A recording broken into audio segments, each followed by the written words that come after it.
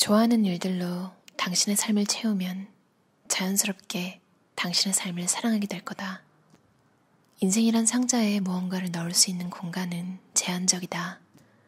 그래서 당신은 종종 상자를 정리해야 하고 상자 안의 세상에 관심을 가져야 한다. 싫어하는 것들로 상자를 채워버리면 상자를 열기도 싫을 것이다. 내가 싫어하는 건 고민하지 말고 바로바로 바로 버려야 한다. 먼저 당신이 싫어하는 것부터 버려야 한다. 그래야 더 좋은 삶을 쫓는 힘이 생긴다.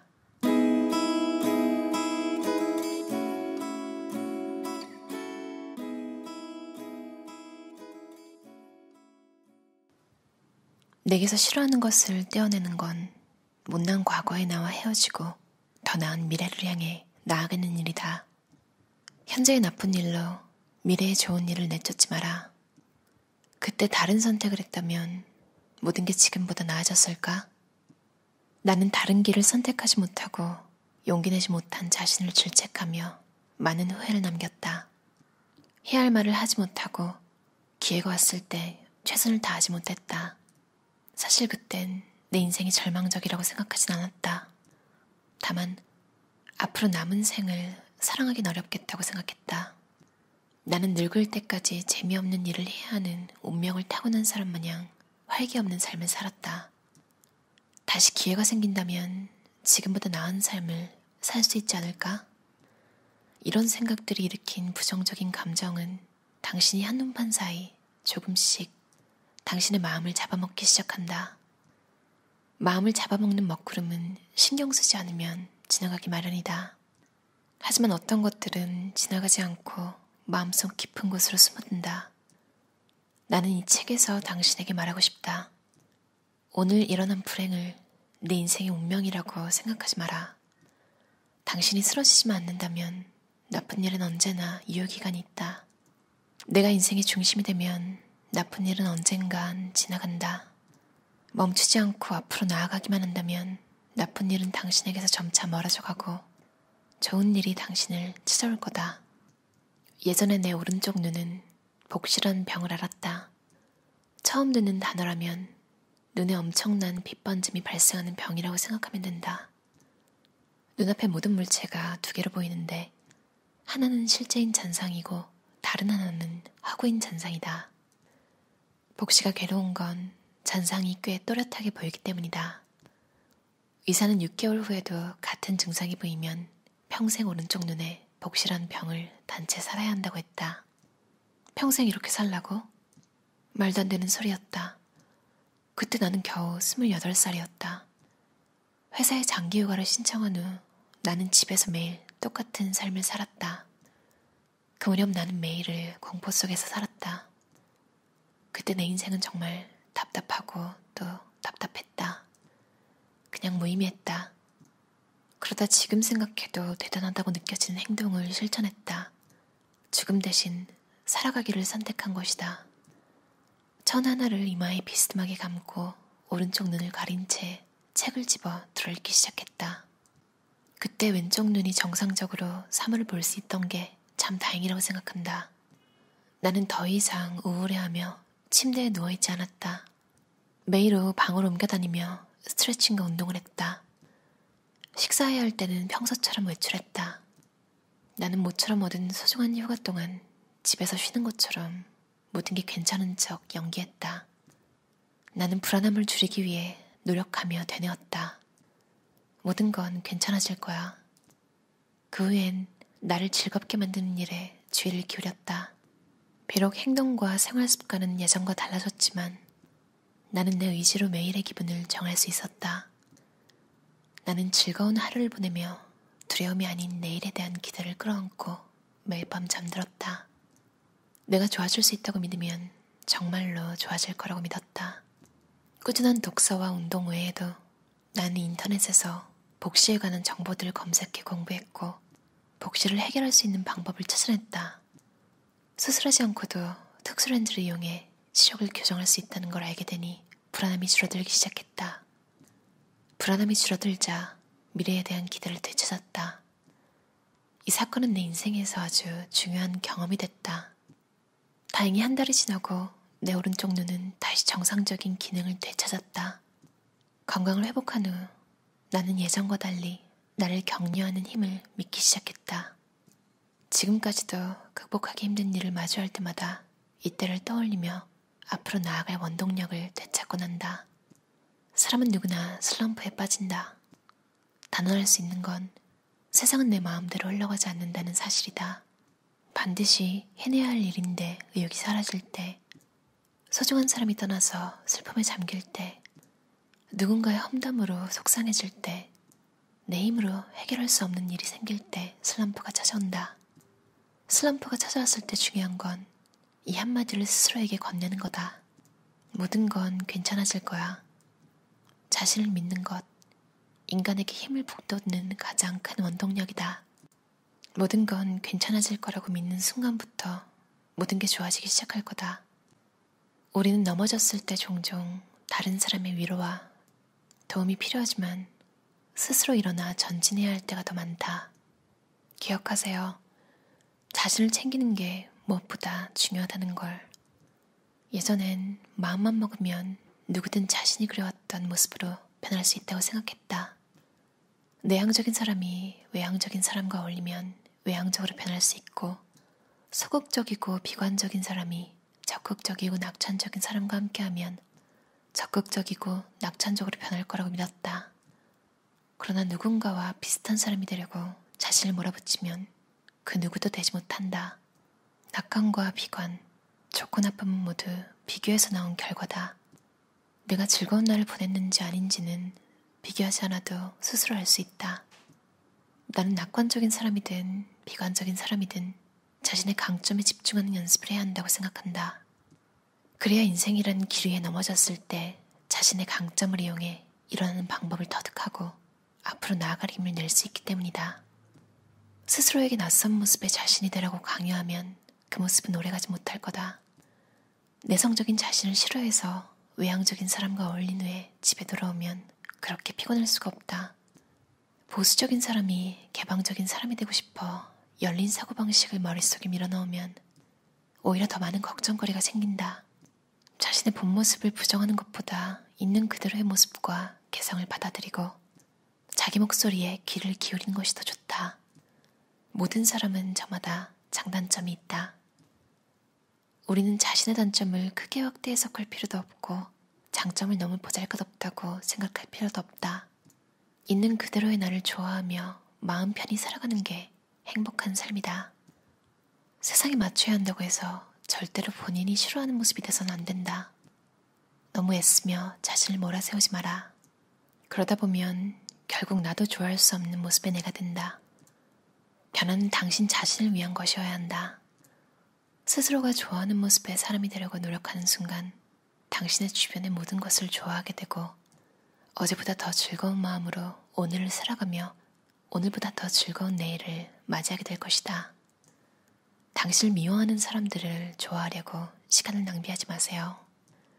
사람이 한평생 쓸 수 있는 에너지의 총량은 정해져 있습니다. 중요한 일, 사랑해야 할 사람, 완성해야 할 꿈이야말로 우리가 가장 신경 써야 할 일입니다. 당신을 공격하는 사람이 당신의 미래를 조종하게 되지 마세요.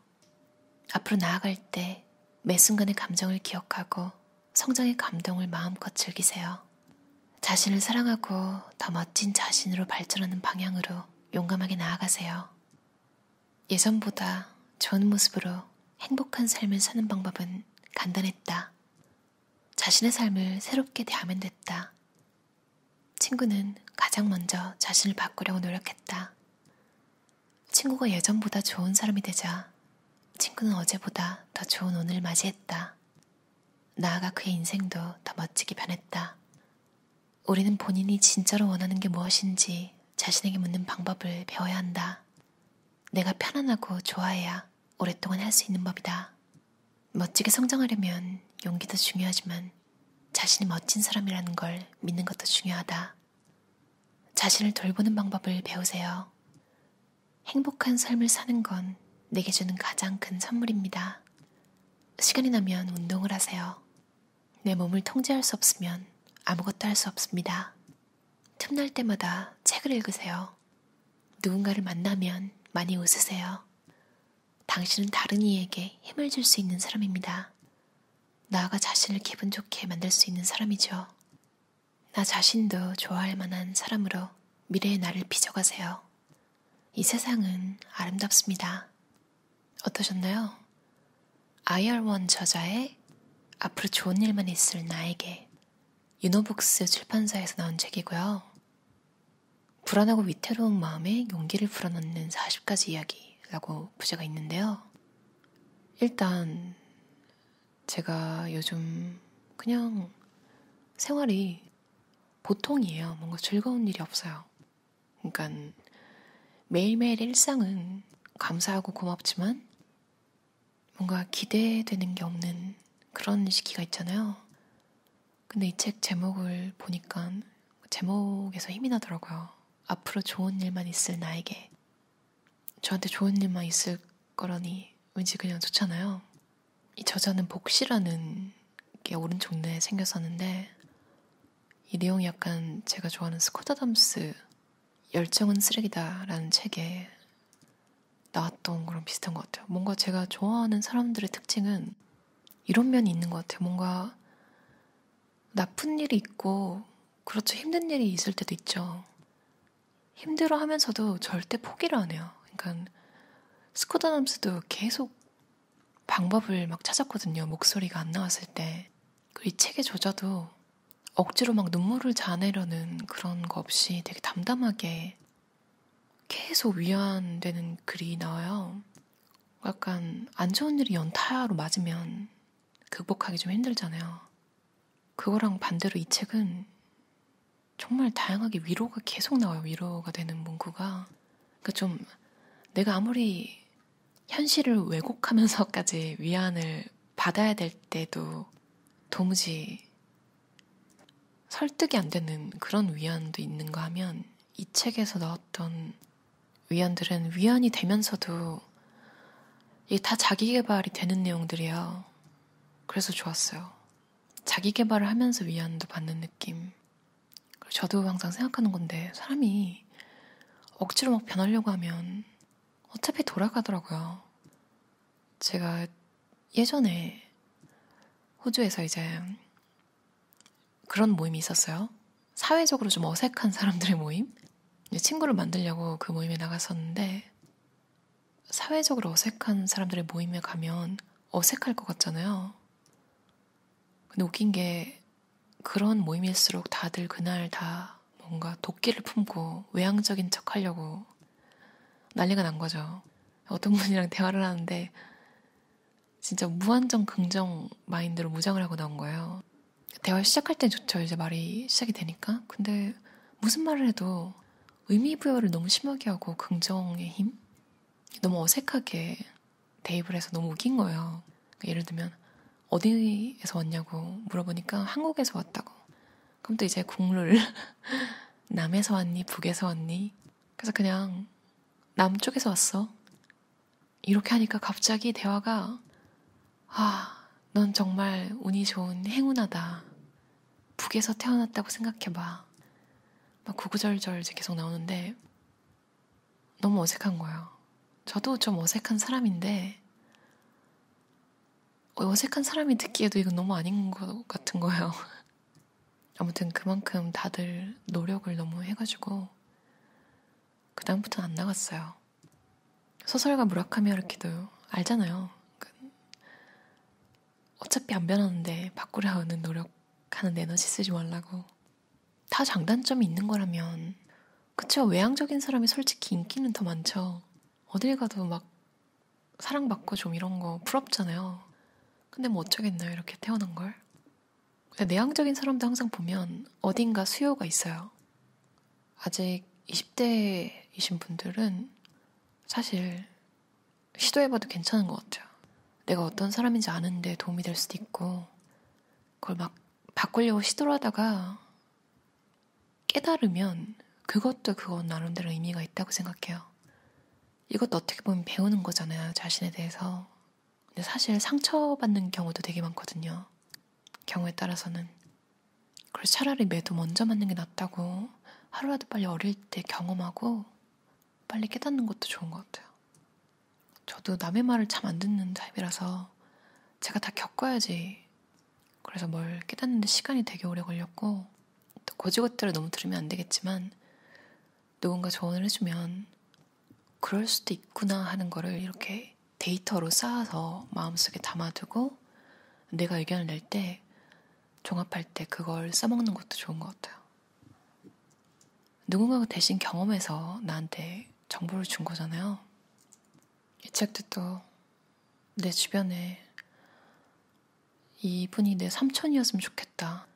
어려서부터 이 삼촌한테 인생 조언을 듣고 자랐다면 인생이 좀 덜 힘들었겠다 이런 생각하면서 읽었어요. 앞으로 좋은 일만 있을 나에게 여러분한테도 좋은 일만 생겼으면 좋겠어요. 그럼 오늘도 들어주셔서 감사합니다. 편안한 하루 보내세요.